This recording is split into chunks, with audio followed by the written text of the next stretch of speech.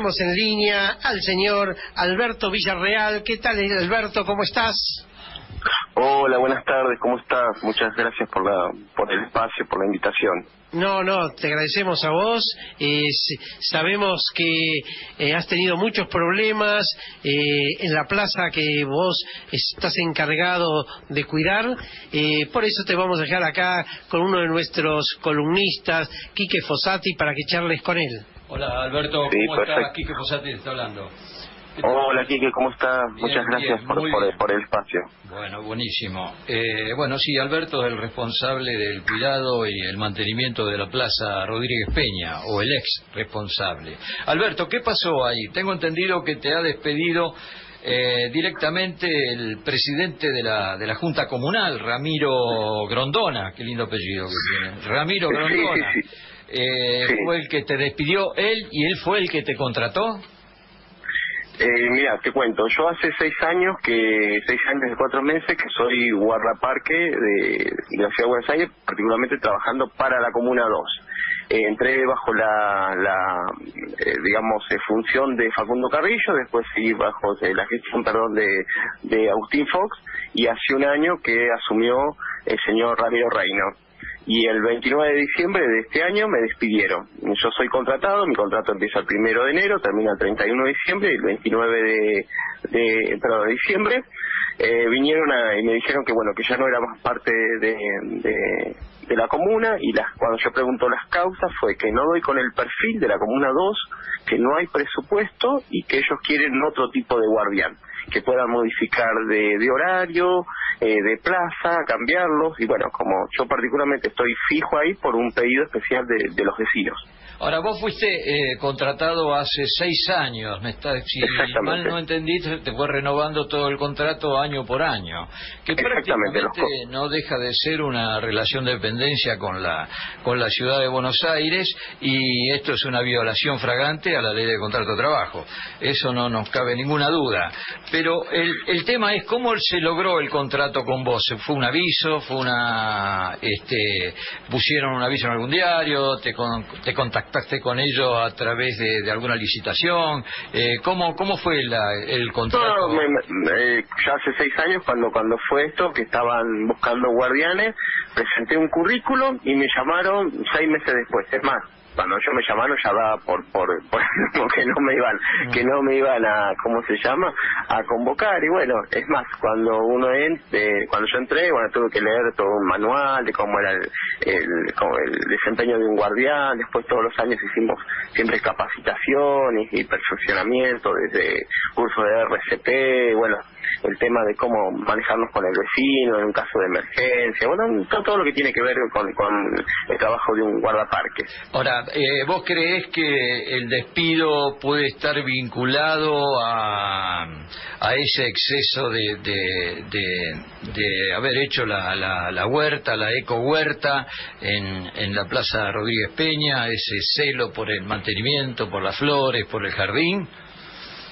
Mira, eh, yo no lo puedo asegurar, tampoco lo puedo desmentir. Todos los vecinos dicen, más que nada esto, viste, empezó hace un año cuando este señor asumió, a los 10 días de haber asumido, arrancó, hizo arrancar media huerta jardín, así de, sopetón, por así decirlo. Eh, lo lograron para los vecinos, juntaron firmas, bueno, llegaron a hablar con Rodríguez Larreta y volvió para atrás. Lo volvieron, los vecinos lo volvieron a rearmar. Se mantuvo más o menos un año con algunos, eh, así, digamos, también durante este tiempo fue el tema de la pandemia, entonces cuando la plaza tuvo un tiempo cerrada, después volvió a abrir, eh, y bueno, eh, incluso tenía toda una malla de, protección y hace más o menos dos meses de pronto le, mandó a sacar esa malla, había un arbolito de boldo, eh, se la mandó, lo mandó a, a, podar, a talar prácticamente, porque incluso estaba a punto de florecer y los vecinos le pidieron, bueno, deja que florezca y después lo podás bueno, como los vecinos se pusieron adelante del arbolito eso, no lo dejaron pagar, al otro día de la mañana eh, mandó parte del personal de la comuna a cortar eh, el, arbolito. Y digamos, y un montón de, de, actitudes y cosas, yo me puse del lado de los vecinos, gente que conozco, que digamos, yo estoy cinco días a la semana, siete horas por día, veía que, bueno, que aparte con ese tema de la pandemia, lo que es la huerta jardín había tomado toda una relevancia y se había transformado en un ámbito muy, digamos, terapéutico, sobre todo que es un barrio de mucha gente grande, entonces bueno, como es un jardín que se armó así de, intercambio, que se llevan una plantita, traen una plantita, por ejemplo, una anécdota puede ser una nenita con, con su mamá habían hecho, habían hecho germinar un melón, entonces bueno, lo trajeron, lo plantaron ahí, entonces cada dos días la nena viene a ver cómo, cómo va creciendo. Y bueno, después que pasó lo del boldo, se hizo un petitorio que en cuatro días los vecinos le juntaron 500 firmas. Eh, y bueno, yo manifestándole a la comuna lo, que, digamos, su, su, lo que iba a generar todo esto, el, el malestar de los vecinos y todo esto, la respuesta a ese petitorio fue después el 29 de diciembre echarme a mí como dice alguna vecina, no pudieron con la huerta, no pudieron con los vecinos, bueno, voló la cabeza de Alberto. Sí, yo estuve, estuve viendo que hoy en estos momentos los que riegan las plantas son los propios vecinos, los que están cuidando las plantas. Este, hemos dado una vuelta por la Plaza Rodríguez Peña, es hermoso lo que hiciste y el trabajo que hiciste. Eh, de eso no tenemos ninguna duda. Eh, acá, compañero, te va a hacer algunas preguntas. Hola Alberto, mi nombre es Guillermo, mucho gusto. Mucho gusto, Guillermo. Lo que te quería preguntar, y más que nada para sacar el limpio, ¿no? Es, eh, eh qué contradictorio, ¿no? La decisión del gobierno de la ciudad, eh, cuando ellos venden habitualmente, o el mensaje que nos tienen como que es una ciudad verde, como que es una ciudad donde se le da un valor fundamental a, a no sé, a, a una cosa que, que no tiene nada que ver con esto de querer eh, eh sacarte la huerta, ¿no? No solamente a vos, sino a los vecinos. Sí, sí, sí, sí, ese es el, totalmente lo contradictorio. Aparte de este tema de la famosa participación ciudadana. Claro. Por un lado, viste, a nosotros nos dicen que nosotros somos la, la voz y los ojos de la comuna en la plaza con el vecino.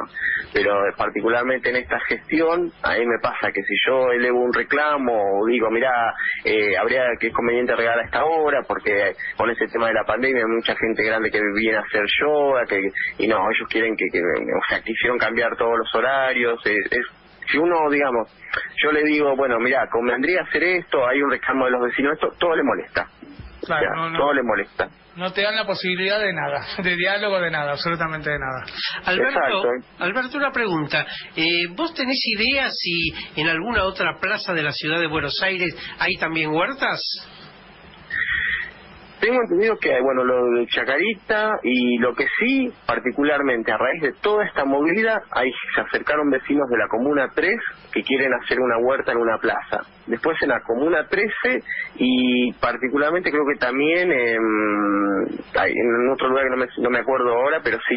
Y lo que sí se quiso armar, lo que era un poco, los vecinos también se, se enojaron muchísimo porque quisieron, cuando este señor asumió el 10 de diciembre, fue arrancar esta plaza, esta huerta jardín que había en la Plaza Rodríguez Peña y quería armar una huerta en Estación Saldía. Eh, digamos que, que es como la parte pobre, por así decirlo, de, la Comuna 2 Recoleta, y fue algo como una burla, por decir, pero si acá esto está armado, ¿por qué no lo mantenés acá? Y a su vez armás lo que quieras armar allá. Pero bueno, era así como la contradicción, digamos. Eh, Sé que hay por ahí en, algunos terrenos, pero no no sé particularmente en las plazas. Sé, que a, partir de, esta ley que se está promulgando ahora, que está, bueno, eh, el tema de, fomentar todo el tema de los espacios, bueno, los espacios públicos, digamos, eh, la creación de huertas comunitarias, ha, ha tomado como todo un, nuevo una, nueva apuesta de, de, todo esto, digamos. Lo que pasa, Alberto, es que para el gobierno eh, no es rentable la huerta de ustedes. Ellos prefieren hacer edificios, grandes edificios, vendérselo el, terreno a, amigos que hagan negocios. En cambio, con la huerta no pueden hacer negocios. No van a ir a vender la lechuga o, lo que ustedes puedan estar ahí cosechando. Pero bueno, esperemos que esto se revierta y para cualquier cosa que necesiten, eh, nuestro espacio está abierto a ustedes. Bueno, bueno, muchísimas, muchísimas gracias por, por contar un poco lo que está pasando y bueno, la verdad es que me han sorprendido muchísimo. Ayer se hizo un corte de parcial de la avenida Callao y eso generó que, bueno, a los 10 minutos de estar cortando la, la avenida y que vinieran medios y todo eso, eh, generó una respuesta de, desde la comuna de querer reunirse con los vecinos que hasta ahora era un total silencio, con petitorios, con notas, pero bueno, la fue. Mientras que todo el, el, quilombo, por así decirlo, lo hacíamos dentro de la plaza, no había problema. Ahora, cuando se cortó la avenida, enseguida estuvieron, por lo menos, empezaron a tratar de, dar un signo de, de, querer dialogar por este tema. Bueno, te agradecemos mucho. Bueno, bueno, muchas gracias. ¿eh?